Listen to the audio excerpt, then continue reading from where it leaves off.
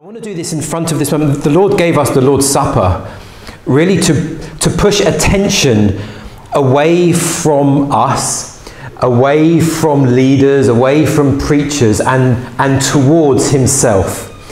And I want to keep this really before us as we talk about what it is to be the body of Christ. Jesus told us that with this bread, this symbolizes the body of Christ. And as we take it, what I want to do is really infuse meaning into this moment.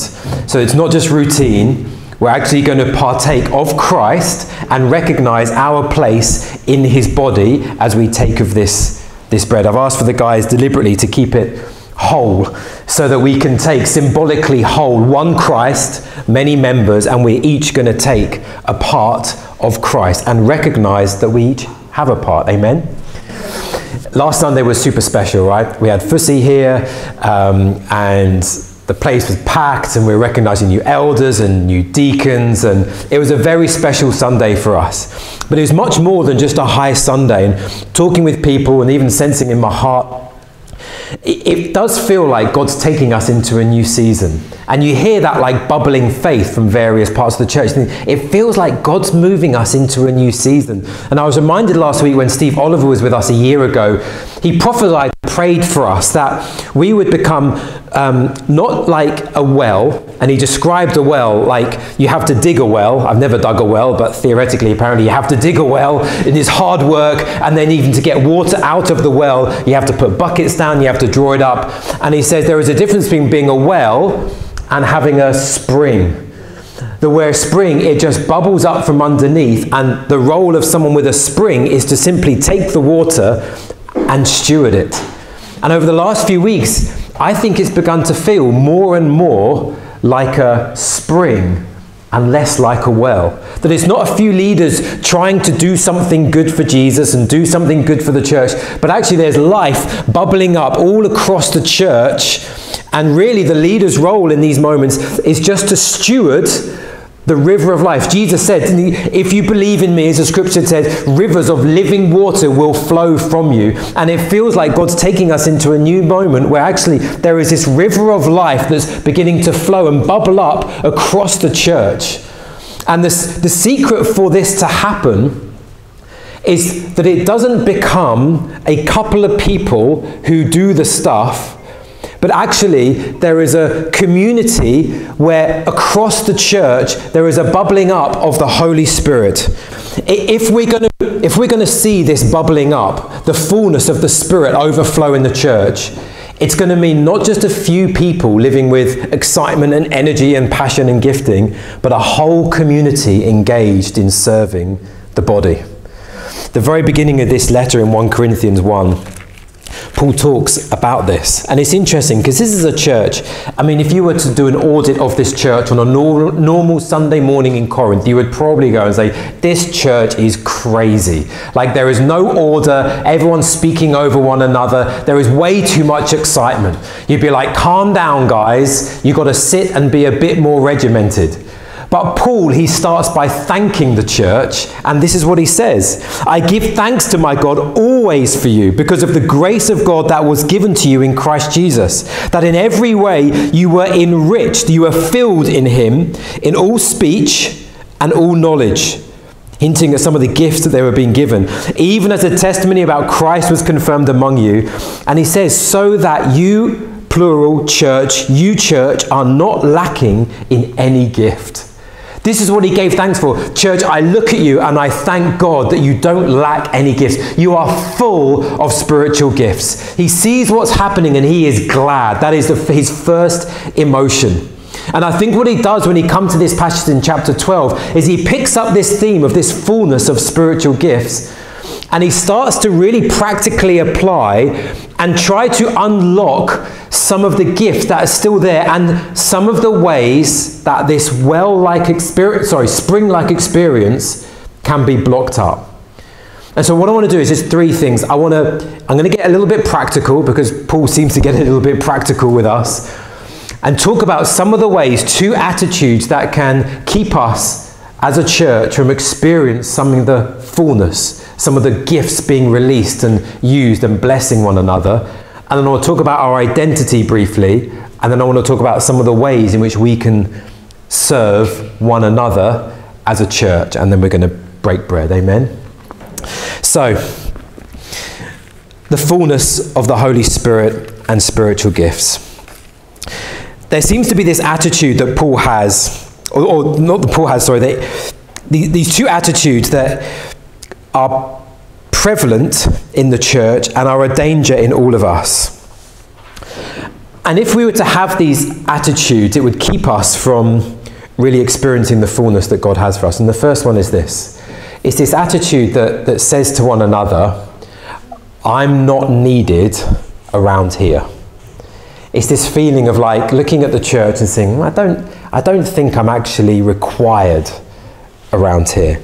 This is what he seems to say. Look in verse 14 of this passage. He says, For the body does not consist of one member, but of many.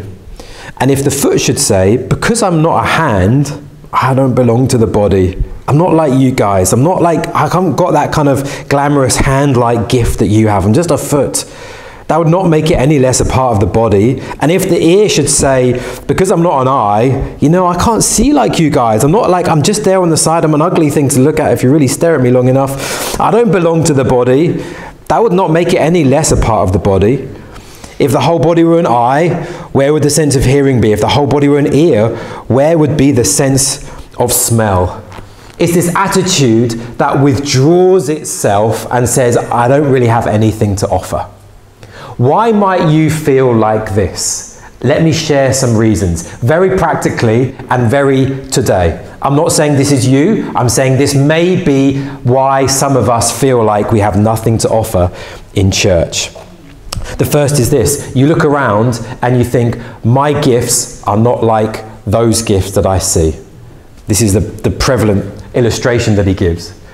So many of us are really a bit uncertain about what spiritual gifts we have. But what we actually do is we look at some of the gifts from up front at church worship leading, prophetic gifts, preaching gifts, and we often say, Well, I don't have those gifts, and then we assume I'm not sure, therefore, I've got any gifts, and we discount ourselves and we feel like I'm not like that person up there who happens to have the microphone, and we think, Well, I'm not like them, so I've got nothing to offer.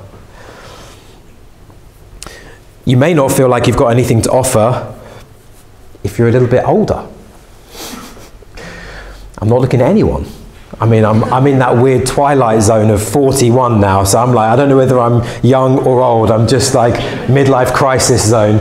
Apparently, it's 42 and a half, I read a few weeks ago, which is like a bit ominous. Anyway, what if you're a bit older? Because this is my experience, just as I looked at my life. When I was like in my teens and then went off to university, I was like focused on what I was doing, right? I was like, head forward, going this. I got plans, dreams, excitement. I'm like, I'm leaving home. I'm going to university. The world's ahead of me. And I didn't really think about my sisters at home or my parents at home. And it's only like 20 years later, I'm kind of thinking, oh yeah, my family. You know, I've got a family back there. But, but what happened as a young person, I think very often you just go head on and it can leave the mums and dads, the elders in the, in the family or in the church of God thinking, they don't really want my help. They don't ask for help. No, but they never ask for help. And it can feel like, because we're quite a young church, if you're slightly older, you think, maybe this isn't the church for me because actually we're desperately in need of elders, mums and dads in the church. The youngers don't tend to ask for help, but they do need help. They need an older, a mum or a dad, to actually go after them and ask questions and be interested in, can I pray for you? What's going on with your course or your. But you might feel like that. You might feel like you've not got a part to play if English isn't your first language. Because you feel like, you know, just talking to someone who English isn't your first language, like sometimes there is a confidence issue, isn't there? Like that's what I hear from people like, I don't want to talk, I don't want to speak, I don't want to read the Bible passage because of my, my English.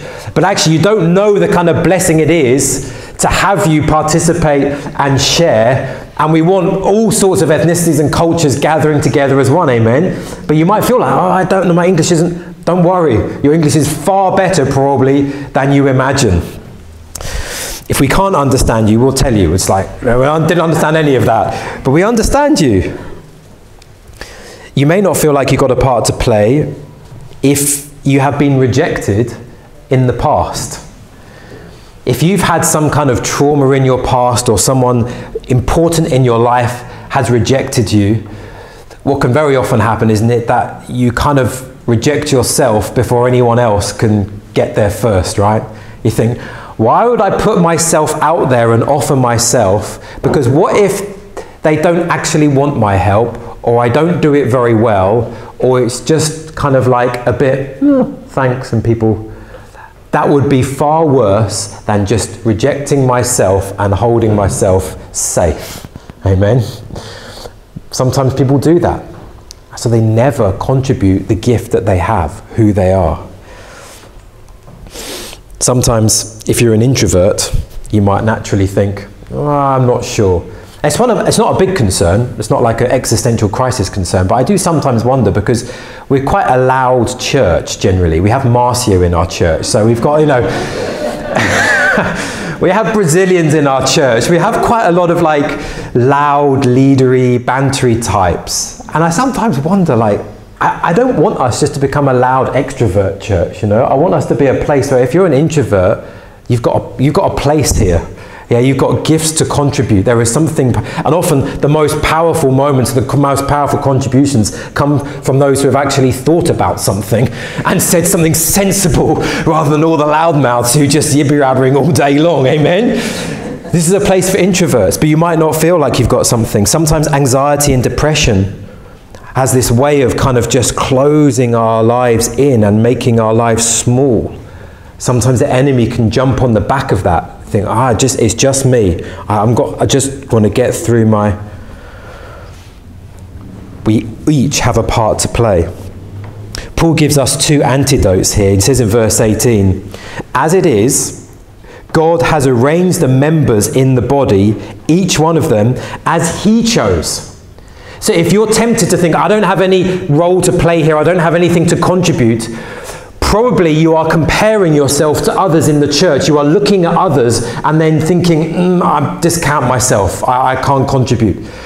But one of the key antidotes is to not look at the church, but to look at God and find peace in the knowledge that God has made you exactly as He desires wired you, shaped you, your background, or everything growing up is part of how God wants to use you in the very moment right now. You think, well, I didn't have all the privileges and other things got up. No, it doesn't matter. God is going to use that and redeem that to bless the church now. That God has chosen this moment for you to be in this church. And so, who you are and what you have and what you can do is vitally important. So we don't compare, we look to God say, God, what have you done in my life? I'm going to give and bless the church. And then he says this that I, actually we need to be different. Verse 19 if all were a single member, just imagine a body that were just like pick out one, one limb, you know, any kind of, I think any bit of your body, if you stare at it long enough, I've discovered becomes intensely strange and weird. Just any body, you know, any part of your body, like you might think, oh, I've got great this or whatever. Stare at it long enough, it will become very strange, I promise you. But imagine if we were just like one nose, you know, just a nose hopping to church, bouncing down the streets, coming to, you know, what good is that? We need the whole body, everything working together if we're going to be strong?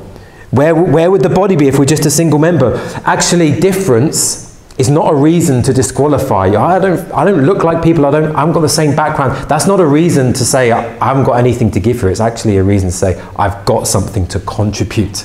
Difference is our strength as a church. Amen? So that's the first attitude.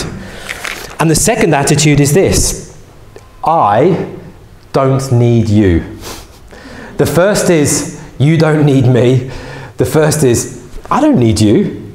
This is what he says in verse 21. The eye cannot say to the hand, I have no need of you.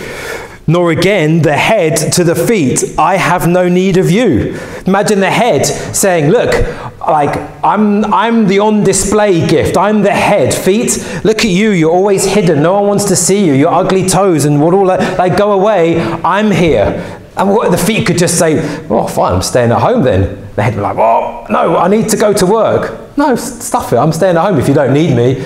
We all need one another. Why might you feel like you don't need the church? Let me just throw out some examples. You might be naturally confident.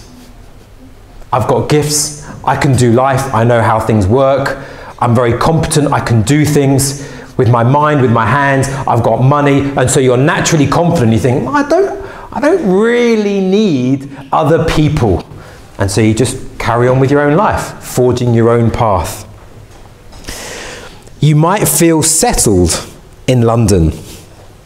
Let me explain this. I think there's a natural story that often happens in London. People arrive in London and maybe single, with a partner, with a spouse, and they're vulnerable and they need friends. They don't really know anybody, so they got they need. Oh my gosh, I need. And there is a church that provides friendship and support and community, and say, I need you. I, I want help, and it provides relational help and financial help and spiritual help, and you find a way of connecting in London. And then what happens over time is you get promotions, you get a bit of money, you buy a car, you maybe pigs may fly, buy a house and then you feel like, oh, okay, we're settling, and then you have a kids, and then your kids, and then when you're at the school gate, then you're in that routine. You feel like, okay, now we're settled because we're in the.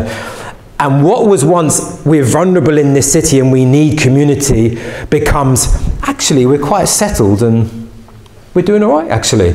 And so you stop feeling like you need the church because you can just do life. Am I making sense?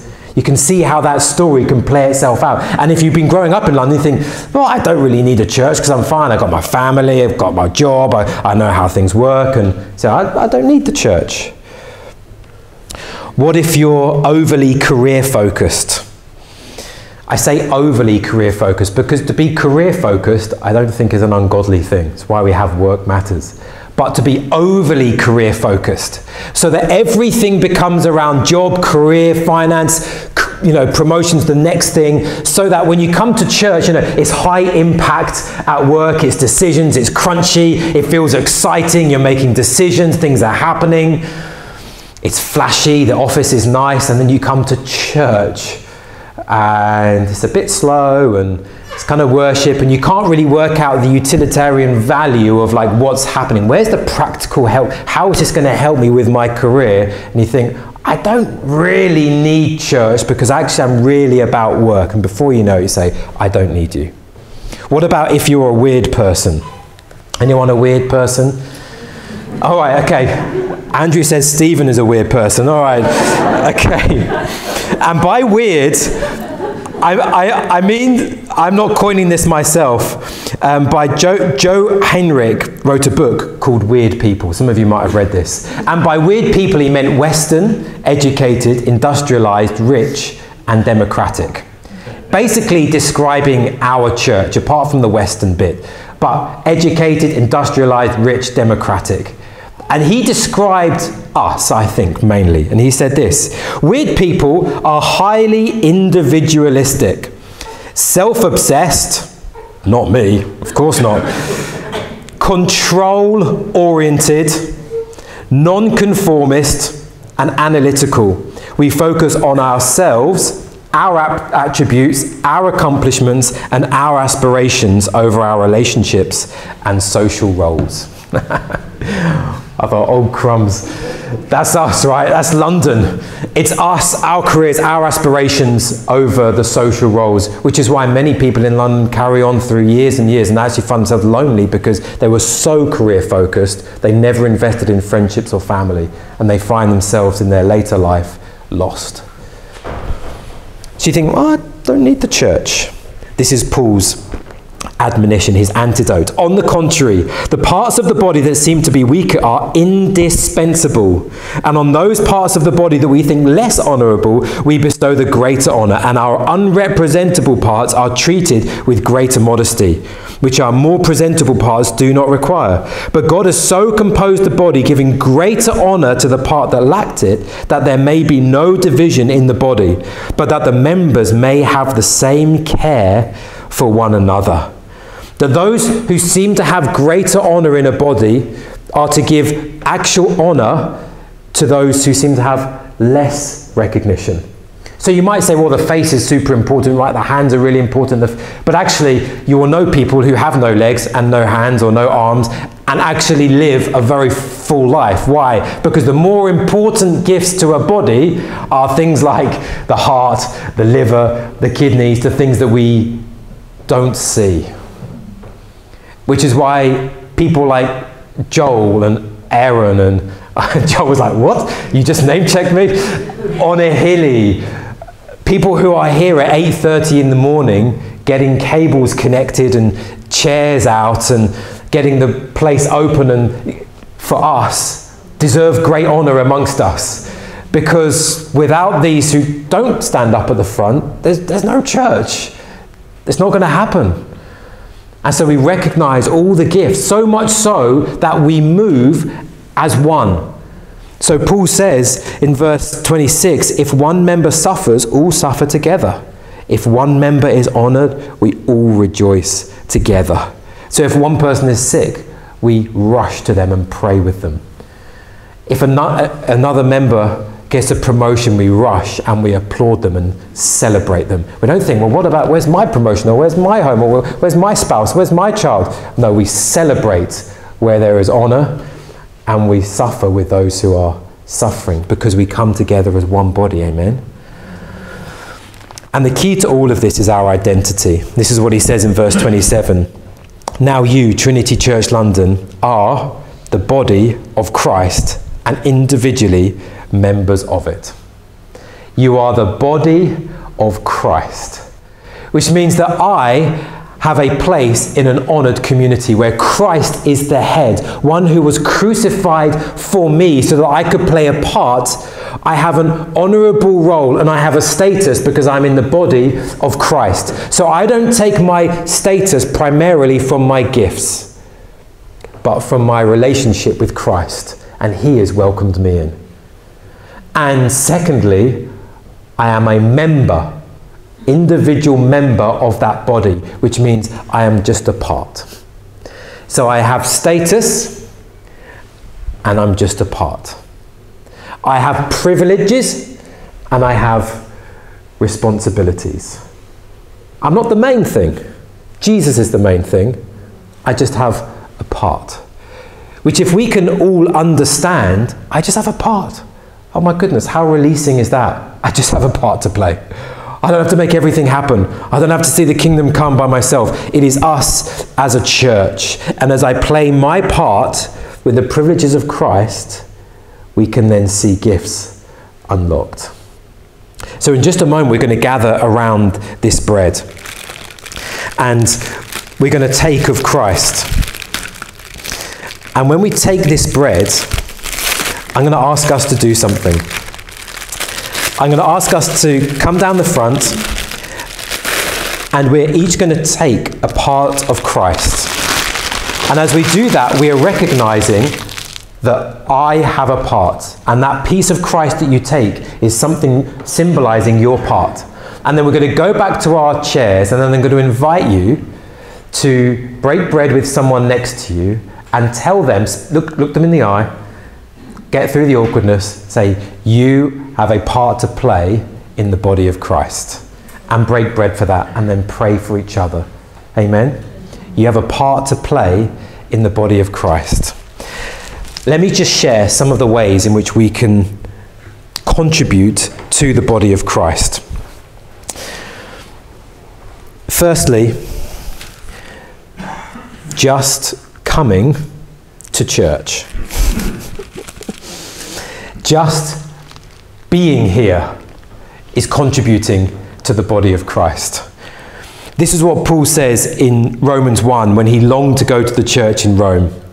He said, I long to see you that I may impart to you some spiritual gift to strengthen you. You think, what's that spiritual gift, Paul? You know, what's it going to be? It's a word of knowledge. It's some writing on the wall. It's something he's going to see. He's going to see into someone's soul. He's going to see their sin. He's going to confess their sin. What, what is it that Paul's got, this spiritual gift? He says, that is that we may be mutually encouraged by each other's faith, both yours and mine. So, what's the spiritual gift? I think Paul sees his spiritual gift as simply being amongst the church, living amongst them, speaking truth, and him hearing of their faith. How do we get encouraged by one another's faith? When I hear your worship to Jesus, I am strengthened. That is a spiritual gift to someone next to you.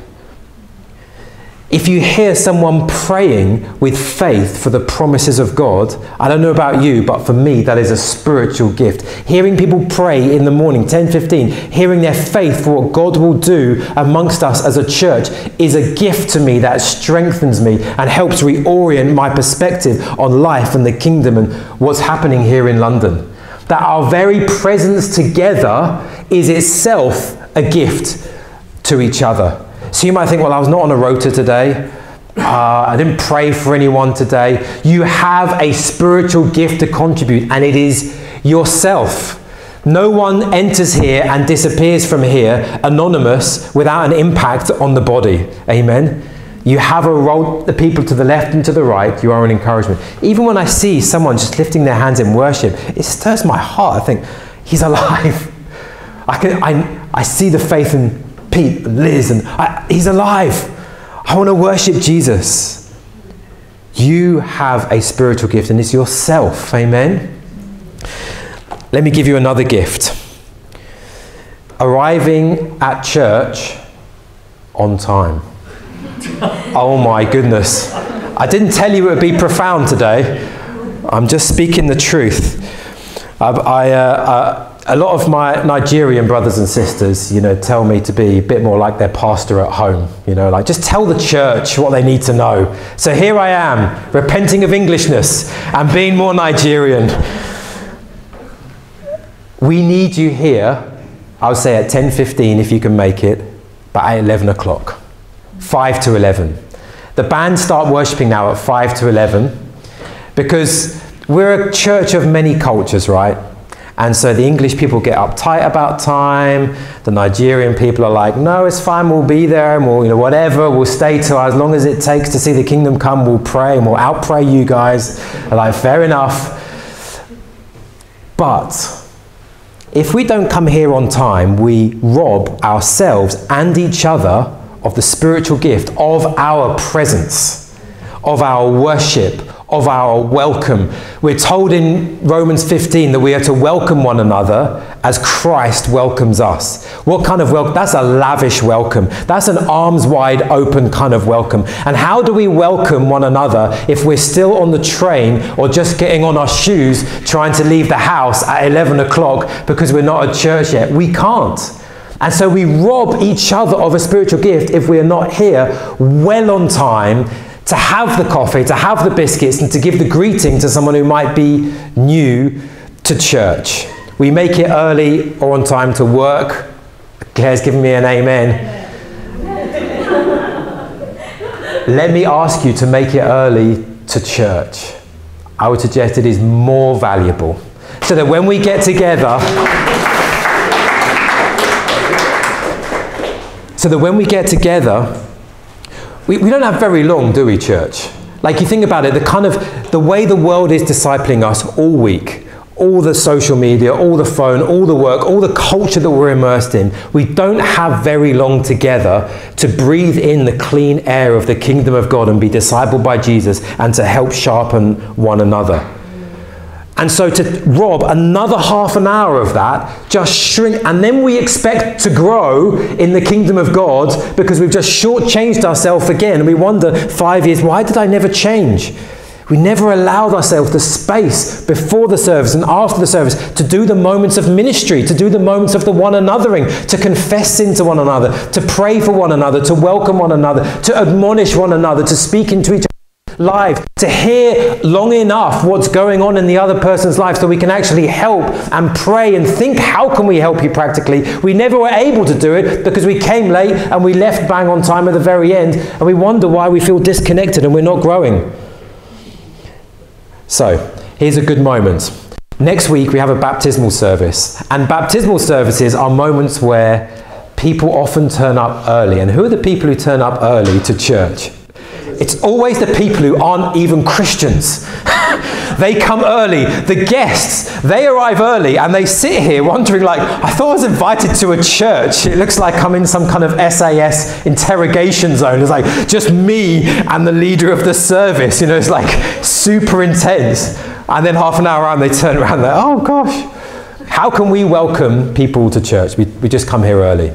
So you figure it out. I know there's life and things happen, but come early. Amen? Amen. All right, that went better than I hoped. Okay. okay. All right, seeing as I'm on a roll, let me talk about one other thing. No, maybe two other things. But one other thing you won't like, and then maybe another thing you will like tithing. As a church, we have struggled to break even. And only two people in this church know who gives what, and that's Chris and Pat Anderson because they need to know for the auditing and the accounts and things like that. So we don't know. But we think at this point in our life as a church, we should be breaking even. That we should be in a place actually of going from a well to a spring. And so if you call yourself a member of this church, you, you figure that out in your own heart and your own. If you're like, no, I'm not sure yet, that's fine. I'm not speaking to you. If you're not a Christian, I'm not speaking to you. I'm speaking to you. If this is part of your church, let me lay out the expectations that the Bible gives us. That we are to tithe our income to the local church that we belong to, the place, the temple where we get the ministry from God. And 10% is gross from what we get given. I'm being really clear. I'm spelling it out as the government gets there first, right? But spiritually speaking, that first 10% belongs to God, okay? So just because the government got there first doesn't mean anything, well, less now, what's it going to be? The first fruits, the first 10% goes to God, and that's our offering as a baseline giving because of the generosity of God. I'm going to serve God and serve His church with this amount of money. And then everything else is a special offering. It's a thanksgiving offering for the work in regions beyond, in the nations, to our friends, to our colleagues, to that charity. That's the above and beyond. But the baseline way in which we serve the church is through our finance. And you know where your heart is really because you know where your finance is. So just follow the trail. Where, where is my heart? Just follow the, you do the maths on it. Like literally do the maths on it. Okay, what, what, okay, oh gosh. Scriptures talk about 10%. That's a tithe, tenth thing. And my tenth thing. And in this way, we serve the body. In the West, we separate the spiritual from the, the physical in a very unhelpful way. But ministry depends on finance to happen. And so, together, if you're part of this church, you say, How, how can I serve in this church? If this is your home, 10th. And we do this together, and we're going to go into so much strength. One of the things that's amazing, I think, at the moment is just things that we've been praying for for years. Like, we're actually, it feels like we're beginning to touch them. We've been praying for people to be sharing Christ and with others, and it just feels like there's more and more stories of people having encounters and moments of talking about Jesus with other people, and we're now beginning to organically connect with all different parts of the nations in all sorts of different ways, and people are going and coming and being encouraged and encouraging other parts of the world, and we're seeing many more stories, and all these things if we're going to see this fanned into flame and this spring just grow and bubble up further, we're going to need to resource it with, with finance. So, tithing. Let me go to one more practical one and then we're going to break bread together. Because it's funny in here. I was just reading this list in verse 28. God has appointed in the church first apostles. Sounds very exciting prophets everyone wants to be prophesied over like let, let, me tell me god what's going on in my life teachers. Miracles. That sounds exciting. Gifts of healing. Helping. I was like you know these like all these really exciting gifts and in the middle of it it's like helping. Like i don't think i've ever been in a prayer meeting like lord give me the gift of helping other people. Like but that's a spiritual gift. Someone to say, what needs to happen around here, I'll make it happen. What kind of life and ministry can happen if people say, that, how can you help in this church? Just saying, I, I could just do whatever's needed. Move chairs, be there, do this, whatever it might be. I can help. Now, I haven't got capacity to do this, but just tell me something and I'll get it done. Practical things. What a way just to be like, a lot of people can do that gift, amen. Sometimes we try and over spiritualize all of this. Helping is a spiritual gift.